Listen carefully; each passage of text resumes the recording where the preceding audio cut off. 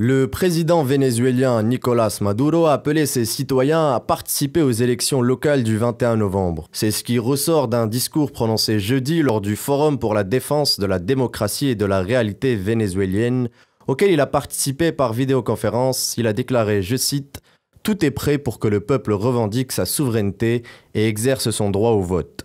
Dans ce contexte, il a souligné que le Venezuela mène une bataille acharnée contre les pressions des États-Unis et de leurs alliés, soulignant qu'il défendra le pays en toutes circonstances. Il est à noter que le chef de l'opposition vénézuélienne, Juan Guaido, qui avait disparu du paysage politique durant quelques mois, a annoncé septembre dernier son intention de participer aux élections.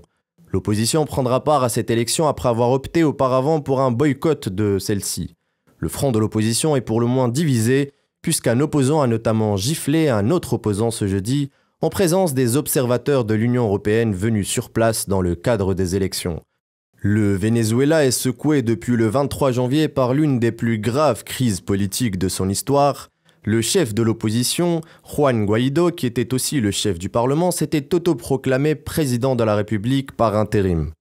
Les États-Unis ont imposé une série sévère de sanctions contre le gouvernement de Nicolás Maduro, ce qui a fait monter la pression sur le Venezuela au cours de ces dernières années. L'avenir du pays se dessinera donc avec plus de clarté ce dimanche 21 novembre.